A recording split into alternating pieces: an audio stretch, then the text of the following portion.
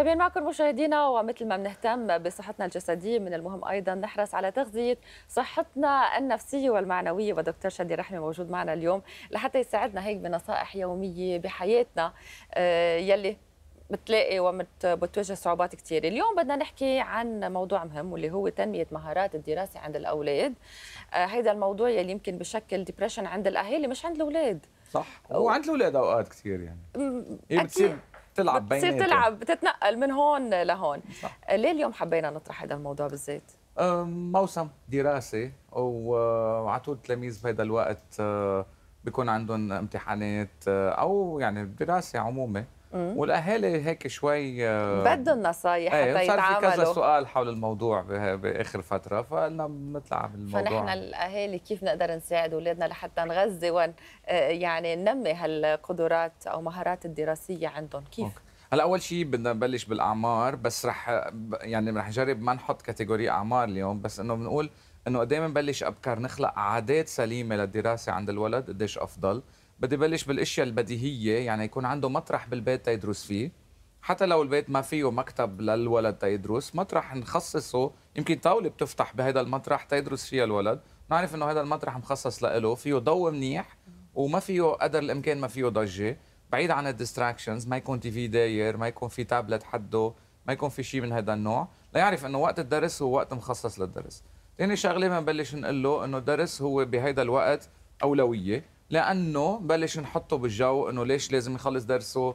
بس يخلص درسه فينا نلعب أكثر فينا نتسلى أكثر بعدين ليش مهم يخلص درسه؟ لأنه بالمدرسة بده آه إنه عنده واجبات بده يكون مقدمها وهون كثير مهم بحديثنا مع الولد قبل الدرس بعد الدرس بخلال نهارنا أول ما يوصل نفتح مجال إنه إنه نحكي نحن والولد ليش الدرس مهم.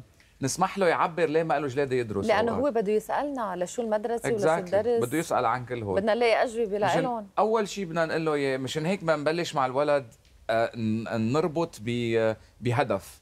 يعني أول شيء مثلا يمكن برات الدرس شو بتحب تعمل؟ بس تكبر. نبلش نقول له إنه مثلا هاو أنت عايز فيهم هاو المواد. فنبلش نفرجيه بس في مواد هو هو بيقدر يقول لنا في مواد ما بيعوزها. يعني أوكي. أنا هيدا مثلا ليه بدي أدرسها؟ ما رح أعوزها بحياتي. أو بعدين رح أنسيها.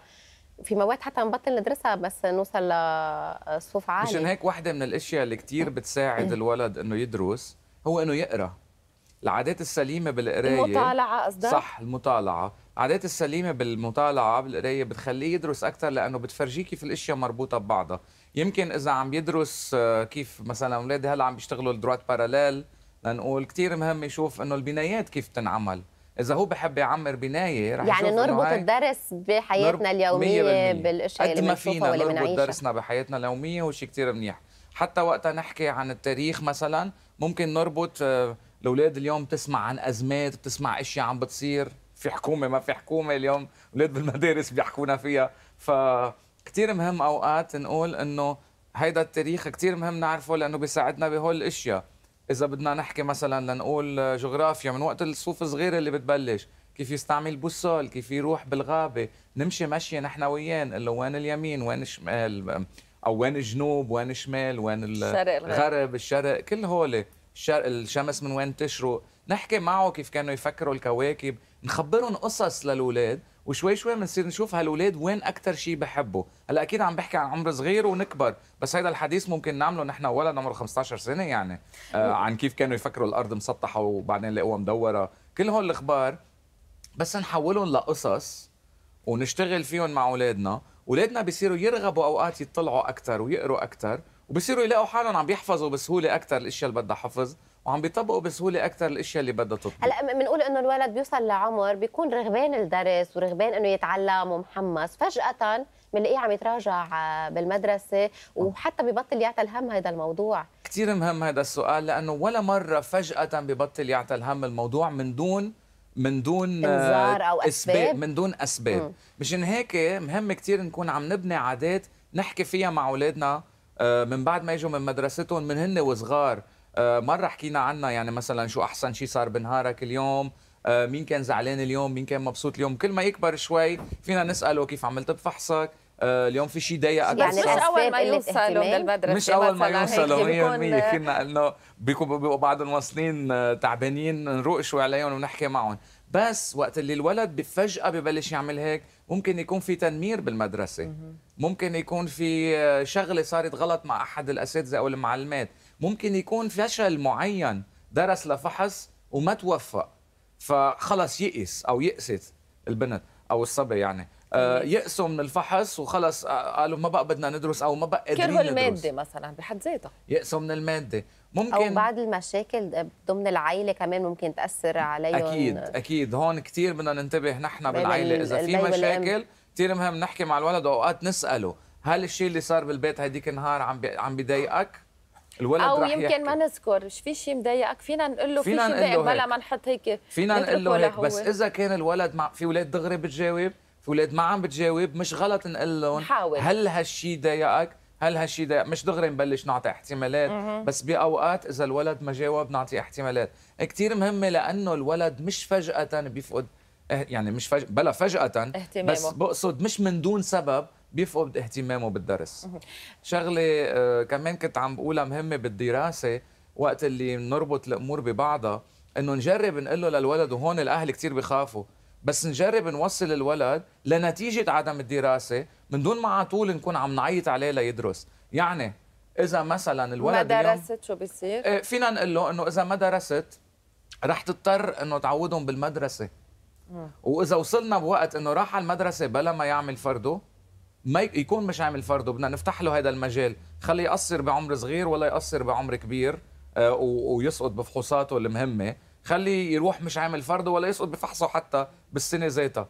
إذا راح مش عامل فرده وكان في نتيجة هون حسب المدارس كيف تشتغل بس مش غلط حتى ننسق نحن ومعلماتهم وأساتذتهم لتلاميذنا إنه خليها تكون نتيجة إنه هالمرة هالشهر رح يعمل دراسة بعد المدرسة. رح نقول له نحن عم تتسجل فيها هي منا قصص بس شفت مش أحلى نكون عم نلعب مجبورين نسجل فيها لأنه ما بدنا نسقط ما بدنا نخسر سنتنا بس ما هل القصصات مهمة أو هل ما لازم نعمل قصصات؟ عم نحكي بالإطار الدراسي. طالما الاساس هو محطوط بإطار نتيجة مش عقاب كثير مهم. يعني نتيجة إنه ما عملت درسك أنا مجبور إنه عوض أنا وياك بشي طريقة. رح جيب لك رح أطلب إنك تضل بالمدرسة بعد ال يعني رح اشتري لك هيدا السيرفيس من المدرسة. إنه هذا الشهر رح تقعد بالمدرسة بعد الدوام. شو بدي أعمل؟ أو من دون نتيجة صريخ من دون ص- لا لا لا أكيد. نتيجة إنه ما عم تقدر تركز على درسك منيح عم تلتهي بال electronics مضطر وقف ال electronics هالجمعة كلها سوا. أو هيدا أو الشهر. ال TV أو نعم. في معنا. اتصال ألو؟ ألو؟ ألو bonsoir. يا هلا. آه معك مدام خوري. يا هلا madame. bonsoir. آه هلأ بعدني مسكرة مع ابني بالخليج. عنده ثلاث أولاد بنتين وصبي. نفس الموضوع اللي عم بيحكيه مسيو شاف هادي عم بحكيه كنت فيه لابني. عم تسألهم مام بس يجوا ولادك على كل شيء كل شيء شو صار معهم؟ آه، آه، آه، شو كان موضوع الحديث؟ إذا تحدثوا. كيف كان درسهم؟ فحوصاتهم؟ كيف كان النهار إذا مزعوجين أو حدا حكاهم شيء هيك. بهذا بدك على يعني أنا قد إيه عمري كنت أسأل أولادي هلأ صرت عم بسأل أحفادي.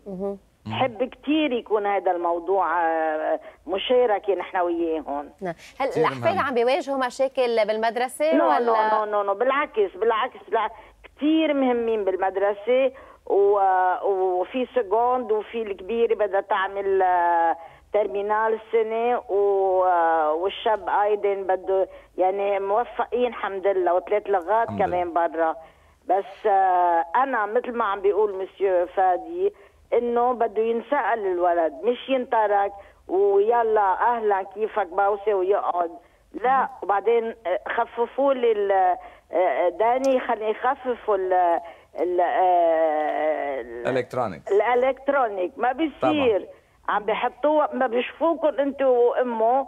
بيقعدوا هن بيكون في درس يلا تنلعب شوي. لا ما إلها معنى. مهم. يلي شكرا لك مدام. شكرا لهيدي المشاركة. والحلو إنه لو ما في مشاكل لو ما بينت المشكلة بدنا نحكي نحن. التواصل مع أولادنا هو. أهم مفتاح للنجاح بالحياة عموما. بس في شغلة مهمة هي إنه نعطي مثل لأولادنا. مش غلط نجيب معنا شوية شغل على البيت أو يكون عندنا كتاب عم نقراه أو شيء عم نحضره حسب قدوة نوعية لهم يعني إذا شغلنا. لهم قروه نحن مش عم نقرأ صح. بدهم يقولوا إنه ليه أنتم لا. صح. مشان هيك كثير مهم بهال هلا حسب العمر قد إيه بتكبر. يعني من 20 دقيقة ل 40 دقيقة لساعه لساعتين درس لكذا بس كثير مهم بالأوقات يلي الولد فيها عم يدرس نحط نحن وقت لإلنا نكون عم ندرس فيه. مش عم نلعب مثلا على سلولارنا أو نعمل شاتنج عم وابننا عم. يدرس. لا حتى لو يمكن أنا أوقات شغلي بيكون على الكمبيوتر بس اولادي عارفين. إني عم بشتغل مش عم بلعب مش عم بتسلى وعم بطبع. عم بعيشعيني عم بطبع. وأنا بقول لهم أنا رح كون عم بطبع هون وانتوا اذا هلا بالمناسبة بدي اعتذر من مدامتي لأنه هذا الشيء اللي بحب أعمله كثير قليل لأقدر أعمله وهي بتعاني معهم تيدرسوا لأنه ما بتكون متواجد على طول. آه بس الفكرة يلا مثل ما رح يتغير المشاهدين هون نصايح لهم لازم نحن نصيحة. لحضرتك بس هون عم نحكي دكتور شادي لأنه آه. هي مدامتك عم بتحل يعني هي عم بتكفي وتوفي وعم بتكون وجودها كتير مهم هون في أهالي لا الأم ولا البي عم يقدروا يكونوا موجودين بوقت الدرس والأولاد عندهم مشكلة تشتت يعني بتتشتت صح. أفكارهم صح. بيقولوا آه ما بيركز لأنه ما في حدا وراه عم بيتابعه هون الأهالي يلي عم بيعانوا هلا هالقصه شو بيعملوا هون كتير مهم عند الأهالي يلي مضطرين ما يكونوا متواجدين مع أهلهم. كتير مهم نبني عادات دراسية عند الولد.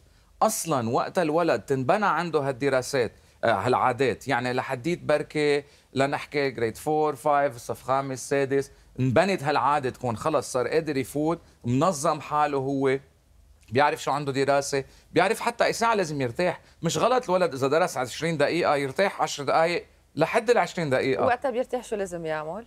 اللي بده إياه بس مش الكترونكس يعني تلفزيون أوقات بيطلبوا خمس دقائق تلفزيون اوقات بسمح افضل أنا مثلا. أفضل هلأ ممكن بس أفضل ما نرتاح بال electronics لأنه هن مشتتين وهن بياخذوا لنا عقلنا بطريقة بنصير نحن بس عم نتلقى وعم نتعب أصلا ومش منتبهين. فمنا عم نرتاح تنرجع ندرس. رح نرجع ندرس ما رح نحس حالنا عنا نفس طاقه لازم نعمل؟ التركيز. أحسن إذا بده يرتاح الولد يقوم ياخذ سناك صغيرة يتسلى مش عنده ليجو معه أو شيء يعني حسب أكيد الأعمار. يتسلوا بشيء من هذا النوع. أوقات آه بعدين بس يكبروا. أنا في في أولاد بعرفهم مثلا أو حتى أوقات اولادي هلأ صرت انبسط إنه بشوفهم هيك. صار عندهم كتب بحبوها من اهتماماتهم.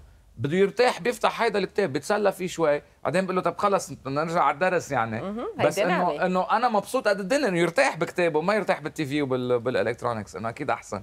مشان هيك بتحدد ساعات. يعني اولادك عمرهم هن twins هلأ وغير آه، الصغير twins عمرهم 10 سنين تقريبا عشر. رح يصيروا آه، يعني بتحدد لهم أوقات مثلا لل electronics حتى ما نحرمهم إيه نهائيا أكيد من بنحاول وبنحاول إنه بنص الجمعة إلا بحالات استثنائية ما يكونوا عم يستعملوا ال electronics لأنه في اليوم دراسات عم بتثبت قد إيه ال electronics عم تسبب آه، قلة تركيز ضعف بال, حتى. ضعف بالعلاقات ضعف بالتواصل والأهم هو قلة التركيز وقلة الصبر نعم. يعني ما بيقعد الولد عنده صبر لأنه معود بيفقس فقسه بتطلع الشغلة بينما هو عم بحل شيء بالمدرسة بده ينطر و... نعم ريسبتور يعني آه،. Exactly. نصيحة أخيرة كيف بدنا نشجع الأهل إنه يساعدوا أولادهم اللي كنت. عم بقوله تيبنوا عادات سليمة إذا هن مش قادرين يكونوا متواجدين ببداية حياة أولادهم الدراسية مش غلط يطلبوا مساعدة يبنوا عادات سليمة عند الولد بس تنبنى هاي العادات السليمة فينا نترك الولد يشتغل وحده واصلا مش بحاجة حتى نكون متواجدين باحده